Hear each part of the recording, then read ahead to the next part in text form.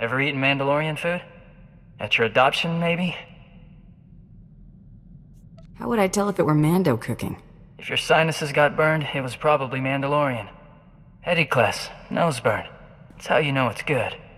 Thought I might make you some Tiingilar, see what you think. If I say yes, am I going to regret it? Think of it as a challenge. They say any woman who can survive a plate of Tiingilar is a keeper. I'll fix you some soon as I can get back to the galley.